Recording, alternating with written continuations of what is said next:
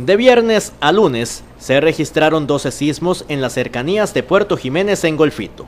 El 2 de marzo a las 7.02 de la noche, uno de 5.1 grados, a las 8.28 3.6 grados y a las 10.33 de la noche del viernes anterior 3.2 grados.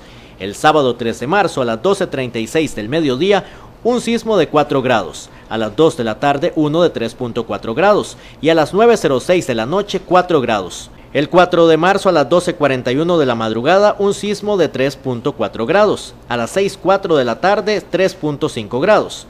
A las 10.22 de la noche, 3.5 grados. Y este 5 de marzo a las 3.31 de la madrugada, uno de 3.2 grados. Según el experto de la Universidad Nacional Marino Proti, la zona de Puerto Jiménez tiene por lo menos 15 días con una actividad sísmica constante. Durante las últimas dos semanas ha habido una actividad eh, frecuente actividad sísmica en la zona de Puerto Jiménez.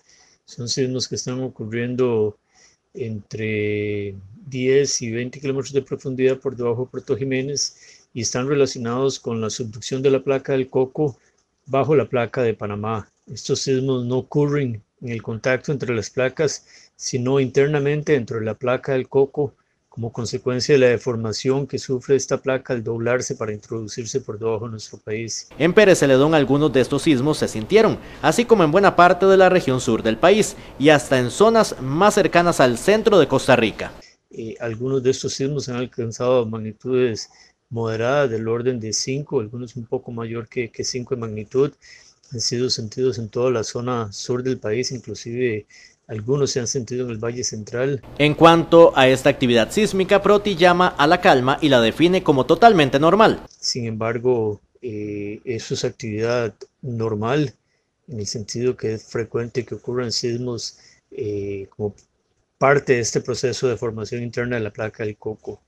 Además de esta actividad, se ha venido presentando también sismos en la zona del Pacífico Central. Esto es muy frecuente. El Pacífico Central de Costa Rica es la zona donde más tiembla en el país porque el contacto entre las placas del Coco y la de Panamá en esta región es muy débil y por lo tanto se genera sismicidad con mucha frecuencia.